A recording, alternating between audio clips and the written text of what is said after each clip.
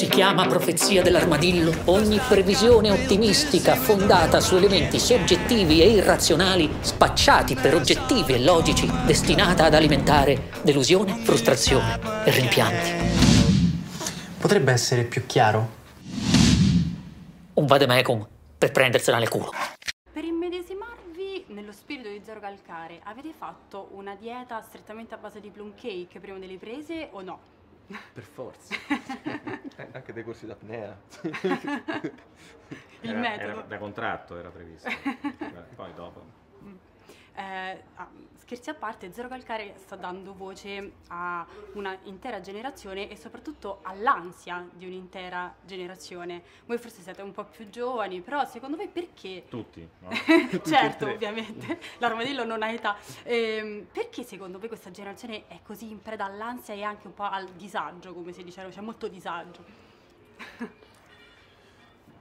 Voi quando arriverete ai più 30 giovane. anni, no? Parla più giovane. Ma eh, io un disagio che avevo qualche tempo fa, ma ora mi sta un po' passando, era proprio eh, il, il- il percepire che eh, di fatti gli, eh, gli altri o gli adulti non, non sapevano minimamente quello che te eh, provavi. Ehm, e, e- e penso che anche nel fumetto poi ci sia questo, questo scarto, insomma, eh, tra quello che un ragazzo ha dentro e quelle che sono le sue aspettative. E, e- e invece l'idea che, che gli altri si, si sono fatti di te. Eh, poi i, dis- i discorsi generazionali sono sempre complessi. ehm. Ciao a te adesso. eh. Ma cioè, eh, rispetto alle ansie generazionali noi l'abbiamo vissuta parecchio eh, proprio prima di iniziare a girare poi il film. Eh, perché in effetti come dici c'è Zero Calcare dà voce a una generazione, quindi c'è quasi un peso da, ehm, da sopportare nel momento in cui interpreti quella storia attraverso il cinema. Che è un'ansia che però poi via via è sparita appena abbiamo iniziato a, a girare, appena abbiamo iniziato noi a conoscerci, ad avere a che fare l'uno, con l'altro, perché era importante poi non sentirci troppo vincolati e, e quindi insomma dare anche poi libero sfogo a quello che è la, la- la nostra interpretazione dei personaggi, della storia.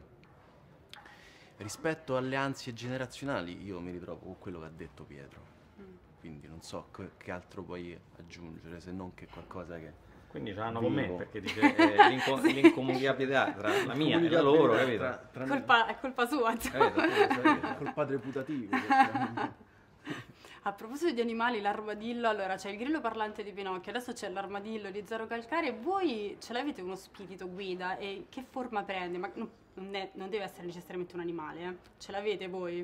Un- Pietro un ce n'è uno totem? interessante senti eh È un, un agente segreto, sì sì. Ah. Io ag- questo agente segreto della- americano eh, che era... eh, che era cresciuto nel Bronx, vabbè ora non, non sto una qui a- storia, sì, sì, insomma, una storia un nome. Ci sono cresciuto. Aveva visto tu- tutti i problemi che io di volta in volta avevo e me li risolveva. ma come si chiamava? No, no, no, senza nome. Senza- eh, non te l'ha detto perché non è segreto. detto, è segreto. Quando è andato in pensione questo? No, O ancora è... Eh, sì, sì, lavora Lavora ancora? è qui vicino a noi È tra noi. sotto il divano. Potrebbe essere qui in questo momento. Voi no, invece, voi ma no, No. a me Non mi risulta. no. non ce l'ho non che io. sappiate, insomma. no Nel, nel film viene ripreso un discorso importante del- della graphic novel che è quella della, della caduta dal film L'odio. Ehm, è, è molto, diciamo, un po' deprimente come discorso perché dobbiamo tutti cadere, dobbiamo tutti sfracellarsi, ma possiamo decidere dove, come e quando. Voi siete contenti della caduta che avete scelto come, o no? ancora devo decidere Mm.